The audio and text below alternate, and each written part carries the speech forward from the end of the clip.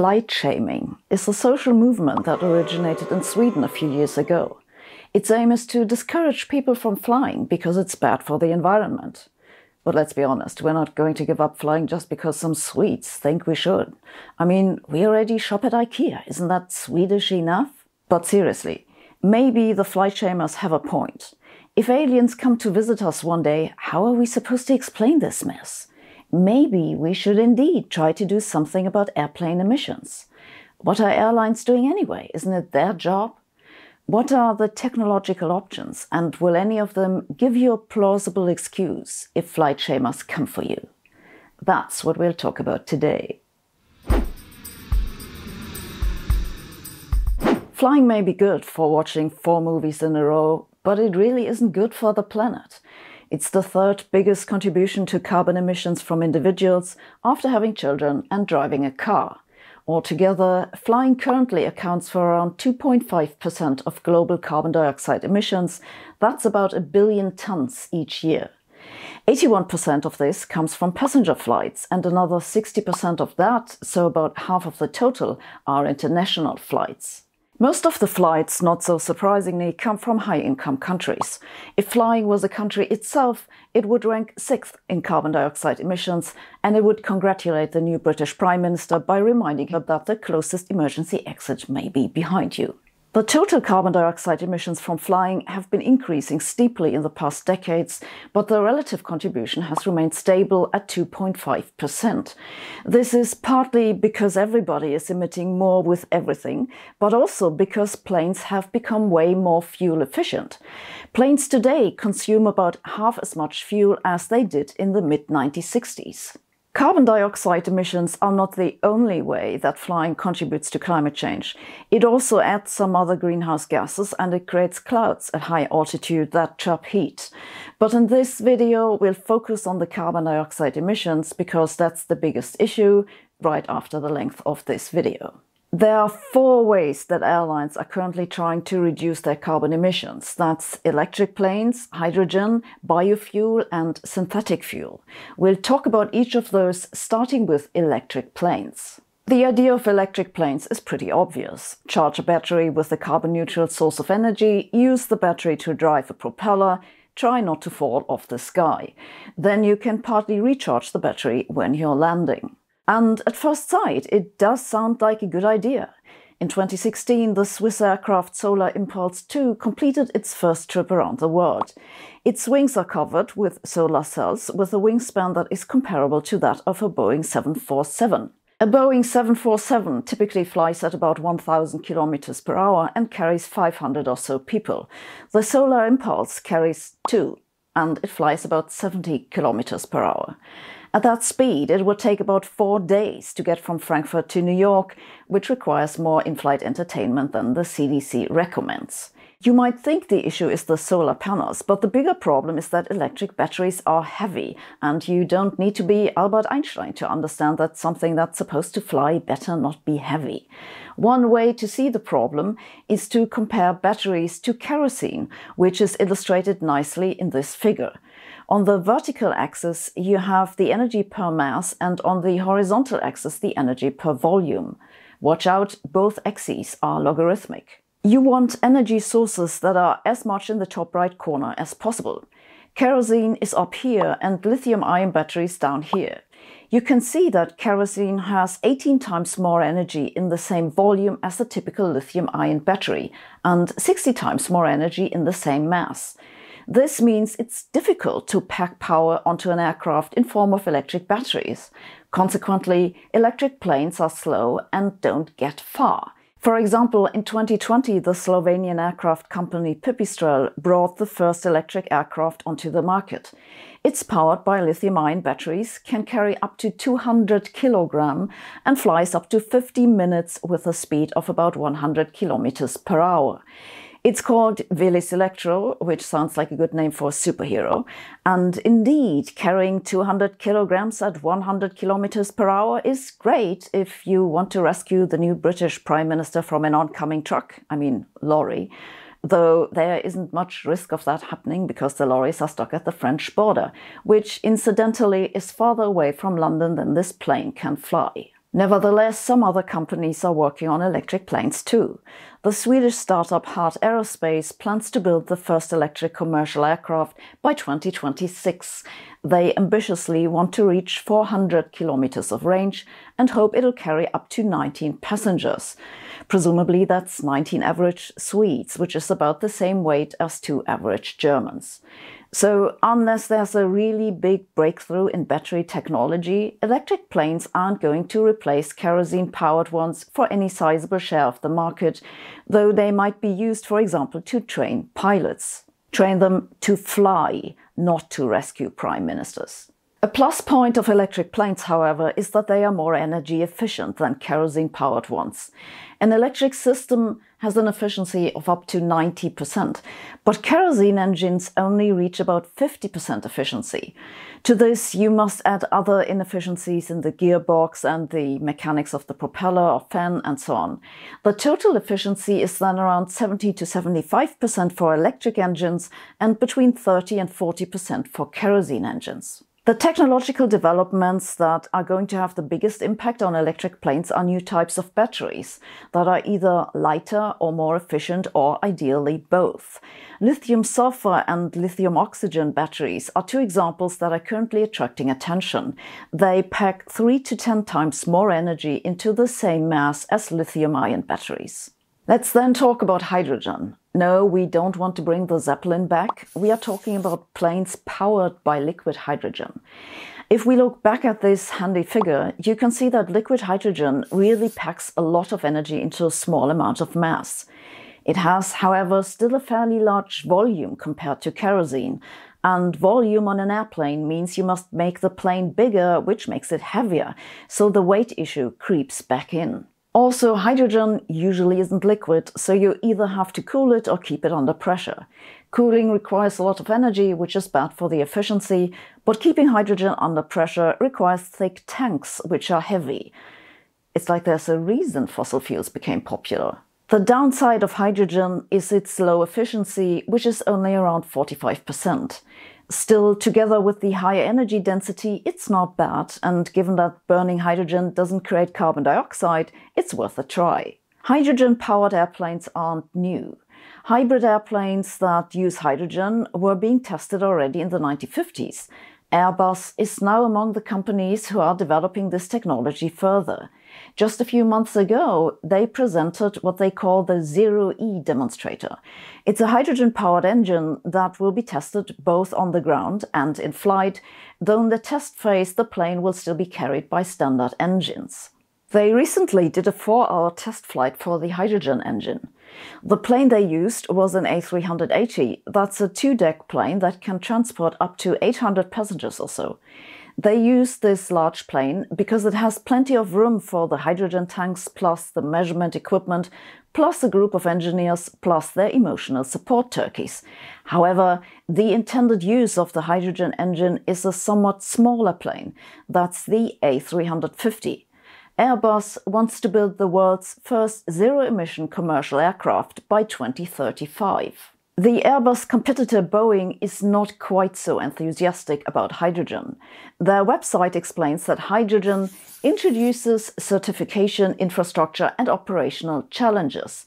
And just to clarify the technical terms, challenge is American English for problem. Because of those challenges, Boeing focuses on sustainable fuels. According to its CEO, sustainable fuels are the only answer between now and 2050. So let's look at those next. Biofuels are usually made from plants. And when I say plants, I mean plants that have recently deceased and not been underground for 100 million years. Biofuels still create carbon dioxide when burned, but the idea is that it's carbon dioxide you took out of the air when you grew the plants, so the carbon just goes around in a cycle. This means, unlike regular jet fuel, which releases carbon dioxide that was long stored underground in oil, biofuels don't increase the net amount of carbon dioxide in the atmosphere. The most common biofuel is ethanol, which can be made, for example, from corn. It can and is being used for cars. But ethanol isn't a good choice for airplanes because it's not energy dense enough. Basically, it's too heavy. In the figure we already looked at earlier, it's up here. Another issue with biofuels is that to be used for aircraft, it must fulfill a lot of requirements. In particular, it must continue to flow well at low temperatures. I'm not much of an engineer, but even I can see that if the fuel freezes mid-flight, that might be a challenge. A biojet fuel which fits the bill is synthetic paraffinic kerosene, which can be made from vegetable oils or animal fats, but also from sugar or corn. Paraffinic kerosene is in some sense better than fossil kerosene. For example, it generates less carbon dioxide and less sulfur. The International Airport Transport Association considers biojet fuel a key element to get off fossil fuels. Indeed, some airlines are already using biofuels. The Brazilian company Azul Airlines has been using biofuel from sugarcane on some of their flights for a decade. British Airways has partnered with the fuel company LanzaJet to develop biofuels that are suitable for aircraft. The American airline United is also investing into biofuels, and the Scandinavian airline SAS has the goal to use 17% biofuel by 2025. The problem, I mean challenge, is that biojet fuel still cost three to six times more than conventional jet fuel. Moreover, researchers from the UK and Netherlands have estimated that the startup cost for a commercial biojet fuel plant is upwards of $100 million, which is a barrier to get things going. This is why making the production of biojet fuel easier and more affordable is presently a very active research area. An approach that's attracting a lot of attention is using microalgae. They produce a lot of biomass and they do so very quickly. Microalgae reach about 3 to 8% efficiency in transforming solar energy to chemical energy, while conventional biofuel crops stay below 1%. Take that, conventional biofuel crops! Algae also generate more oil than most plants, and genetic engineering can further improve the yield. A few years ago, ExxonMobil partnered with Craig Venter's Synthetic Genomics and they developed a new strain of algae using the gene editing tool CRISPR. The gene engineered algae had a fat content of 40 to 55% compared to only 20% in the naturally occurring strain. But biofuels from algae also have a downside. They have a high nitrogen content, so the fuel produced from them will release nitrogen oxides. If you remember, we talked about this earlier in our video on pollution from diesel engines. Then again, you can try to filter this out, at least to some extent.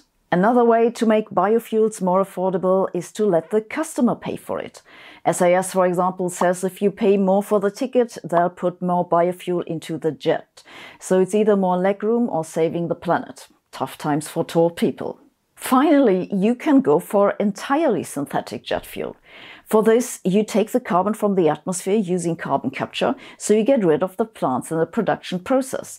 Instead, you use a renewable energy source to produce a chemical that's similar to kerosene from the carbon dioxide and water. The resulting fuels are not completely carbon neutral because of the production process, but compared to fossil fuels, they have a small carbon footprint. According to some sources, it's about 70 to 80% less than fossil fuels, though those numbers are at present not very reliable. Synthetic kerosene is already in use. Since 2009, it can be blended with conventional jet fuel. The maximum blending ratio depends on the properties of the synthetic component, but it can be up to 50%. This restriction is just a precautionary requirement and it's likely to be relaxed in the future. The problem, I mean, challenge, is that at the moment synthetic kerosene is about four to five times more expensive than fossil kerosene. Nevertheless, a lot of airlines have expressed interest in synthetic kerosene. For example, last October, Lufthansa agreed on an annual purchase of at least 25,000 litres for at least five years. That isn't a terrible lot. Just for comparison, a single A380 holds up to 320,000 litres. But it's the first step to test if the synthetic stuff works.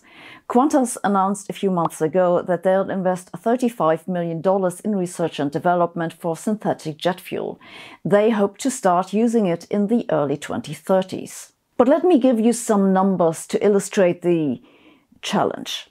In 2020, the market for commercial jet fuel was about 106 billion gallons globally. 21 billion gallon in the US alone. According to the US Energy Information Administration, it is expected to grow to 230 billion gallons globally by 2050. At current, the global production of synthetic kerosene is about 33 million gallons per year. That's less than a tenth of a percent of the total jet fuel. Still, the International Air Transport Association is tentatively hopeful. They recently issued a report according to which current investments will expand the annual production of synthetic kerosene to 1.3 billion gallons by 2025. They say that production could reach 8 billion gallons by 2030 with effective government incentives, by which they probably mean subsidies. So even if we're wildly optimistic and pour a lot of money into it, we might be able to replace 5% of jet fuel with synthetic fuel by 2030. It isn't going to save the planet. But maybe it's enough to push transatlantic flight down on the sin list below eating meat, so the Swedes can move on from flight shaming to meat shaming. Yes, climate change is an enormous challenge. If you are wondering what you yourself can do, check out our sponsor, 80,000 Hours. Why 80,000 hours? Because you have about 80,000 hours in your career, 40 hours a week, 50 weeks a year for 40 years. That's a lot of time, and it means that your career is probably your biggest opportunity to make a positive impact on the world. 80,000 Hours is a non-profit organization that helps you find a career in which you can make a difference, and they do it for free. Whether you're just starting out with your career and not sure what to do, or you want to change direction mid career, or just want to help solve pressing global problems from your current job, they can help. They host a job board with nearly 1,000 currently open high impact career opportunities. Or if you've got some ideas already, they offer free one on one advice to help you get there. They have a free newsletter and a free career guide, and they also have a free podcast in which they talk with experts about how to best tackle global problems. I really like the episode with Toby Ord about the long term future of humanity. Their mission makes a lot of sense to me, and I was really impressed with the quality of their advice. So, if you've been wondering about how you can make a difference in this world but don't know where to even begin, start with signing up at 80,000hours.org/sabine. It's all free. Link is in the info below. Thanks for watching. See you next week.